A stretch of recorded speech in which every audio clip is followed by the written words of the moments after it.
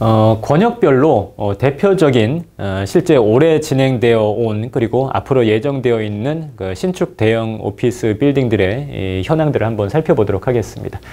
서울 도심 권역에는 대표적인 것이 이 중구 남대문로에 어, 올해 이제 6월 준공을 마친 어, SG 타워가 되겠습니다.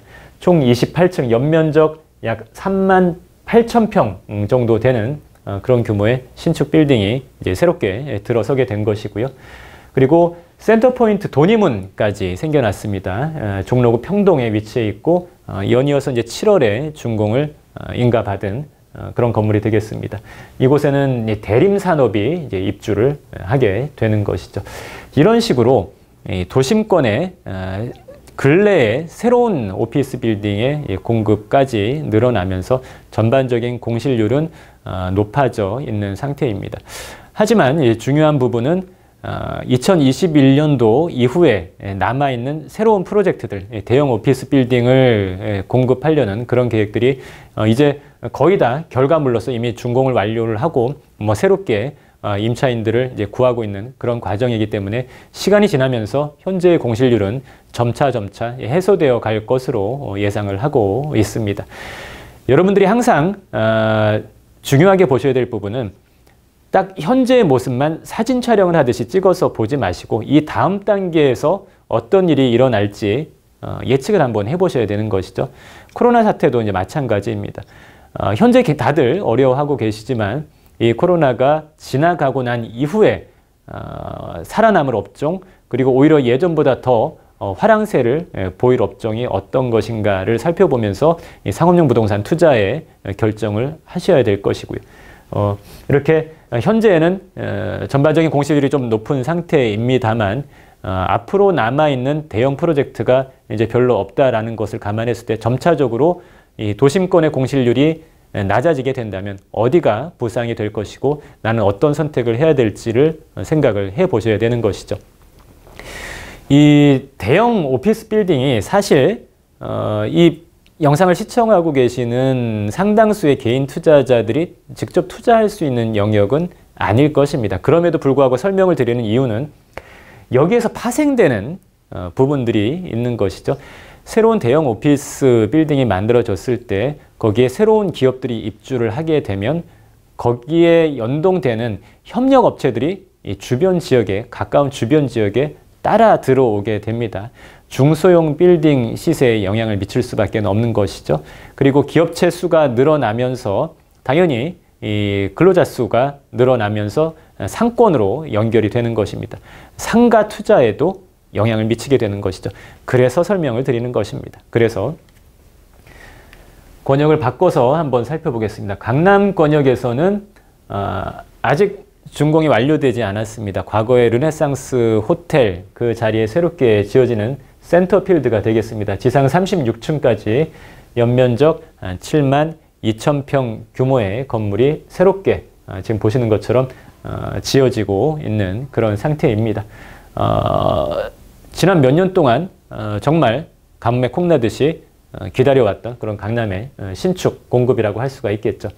도심권이나 아, 이 여의도권의 대형 오피스 빌딩 시장과 강남권 시장이 확연하게 차이가 나는 점이 뭐냐면 결과로 보셨던 것처럼 도심권 그리고 마포, 여의도권에서는 신축 오피스 빌딩이 지어졌을 때 아, 단기간에 급속도로 공실이 공실률이 전반적으로 올라가는 그런 양상을 보였다면 오히려 강남처럼 신축 오피스 빌딩의 공급이 부족했던 곳에서는 어, 급격하게 잠재되어 있던 임차 수요가 그곳으로 몰려들고 또 임대료의 상승까지도 연결되는 어, 그런 모습, 상반된 모습으로 나타내고 나타나고 있다라는 부분을 꼭 이해를 하셔야 되겠습니다.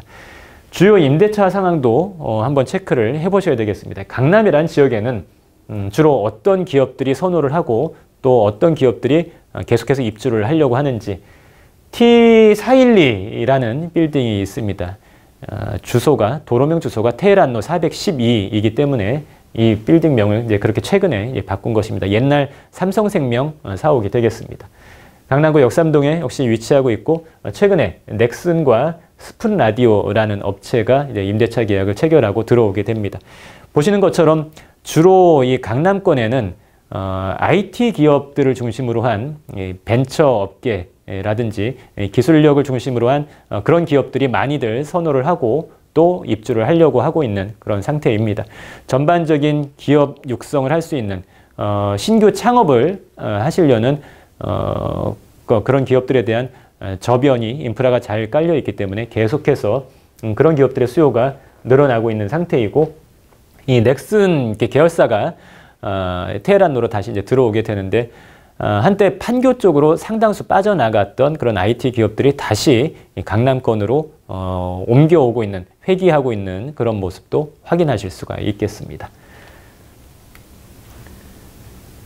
자, 여의도 쪽을 한번 살펴보시면 어, 이 보시는 건물 중에 빨간색 기둥처럼 이 모서리가 아, 나타나고 있는 건물이 바로 이 파크원 건물이 되겠습니다. 10월에 준공을 완료하고 현재 열심히 이제 임차인을 임차 기업을 구해서 예, 집어넣고 있는 그런 상황인 것이죠. 건물의 규모를 비교를 해보면 바로 옆에 있는 옛날 그 쌍둥이 빌딩하고 IFC보다도 훨씬 더 우뚝 솟아있는 그런 모습입니다. 아, 여의도 최고층 건물이 탄생을 한 것입니다. 어, 19만 평이 넘는 어, 총 19만 평이 넘는 예, 대형 규모를 확보를 하고 있는 것이죠. 어, A동, B동으로 나눠져, 있, 나눠져 있는데 A동에는 아, 유진그룹이 그리고 어, B동에는 어, NH투자증권이 입점을 어, 하게 되는 그런 상태입니다. 또 백화점과 호텔까지 같이 구성이 되어 있는 음, 그런 대규모의 건물인데 이 여의도의 상황을 보시게 되면 파크원이 이 들어서게 되면서 어, 기존의 강자였던 IFC와의 이 경합 관계에서 어떤 모습으로 나타날 것인가 많이들 관심을 가지셨던 대목입니다. 네, IFC는 어, 최근 들어서 팝콘의 영향을 어, 크게 받지 않으면서 계속해서 공실료 관리를 잘 하면서 우량 임차인들을 확보하고 있는 그런 상태인 것입니다. 어, 근데 여의도와 같은 경우에는 파크원이라는 굵직한 하나의 사업이 완료가 됐습니다만 아, 포스트 타워죠. 여의도 우체국 재건축 그리고 MBC 사옥 재건축을 통해서 만들어지는 브라이튼 여의도와 같은 새로운 건물들의 준공이 아직까지도 좀 남아있는 그런 상태입니다. 그래서 상당 기간은 아, 앞으로 상당 기간은 어, 현재의 공실률 관리가 어떻게 진행되고 있는지 좀 지켜보셔야 될 대목이다라는 판단이 듭니다. 아, 그리고 추가적으로 확장해서 보시게 되면 용산 에, 가까운 곳에 이 용산이 있습니다. 여의도와 그렇게 멀지 않은 곳에 에, 용산에 정비창 부지가 있죠. 정비창 부지 개발과 관련해서 정비창 부지에 대형 업무 시설을 집어넣기 어려운 이유가 바로 여기에서도 나타나고 있는 것입니다. 바로 강하나 건너에 에, 이 대형 오피스 빌딩이 밀집해 있는 곳에 여의도에 보시는 것처럼 어, 신규 어, 대형 건물들이 계속해서 늘어나고 음, 아직까지 그 공실률 문제를 다 해결하지 못하고 있는 상태다라는 것이죠. 시간이 꽤 걸릴 것으로 예측이 됩니다. 그런 상황에서 거기에 엎친 데 덮친 격으로 어, 용산에 새로운 대규모 업무 시설을 어, 집어넣는다라는 것은 어, 서울의 도시계획상 맞지 않는 선택이 될 것입니다. 그런 부분도 한번 참고로 생각을 해보시면 어, 여러분들한테 도움이 될 것입니다. 아, 수급을 좀 정확하게 따져보기 위해서 어, 서울의 이 오피스 건물들이 어떤 식으로 얼마만큼 공급이 되어 왔고 또 앞으로 그 수급 관계가 어떻게 될 것인지를 한번 경기도와 비교를 해서 어, 따져보도록 하겠습니다.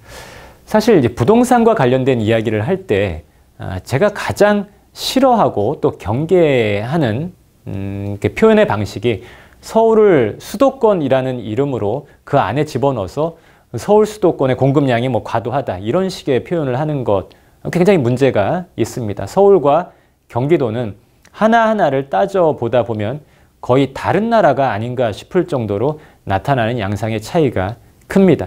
그래서 항상 비교해서 보시는 어, 수도권 안에 서울을 집어넣어서 생각하시지 않아야 되는 음, 그런 이유 어, 미리 말씀을 드린 겁니다. 좀 진한 남색으로 표시가 된 그래프가 어, 서울의 착공 면적이고요.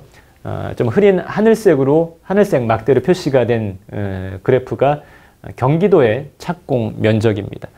2015년부터 시작해서 2020년도까지 쭉 진행되어 온 그 결과치를 보시게 되면 서울의 경우에는 이 전체 기간 중 6년간의 아, 연평균 착공 면적이 1578 150만 7,800 제곱미터, 150만 7,800 제곱미터 정도였고, 어, 매년도 착공된 그 규모가 평균에서 크게 벗어나지 않는 비슷한 수준에서 어, 착공이 이루어져 왔다라는 것을 어, 확인하실 수가 있겠습니다.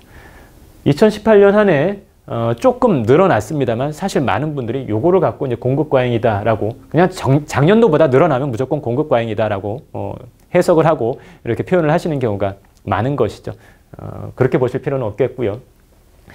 경기도와 같은 경우에는 2015년도 어, 340만 제곱미터인 수준에서 2017년도 440만 제곱미터를 넘는 수준으로 어, 급등을 하고 그 이후에는 어, 계속해서 감소해 오고 있는 그런 모습입니다.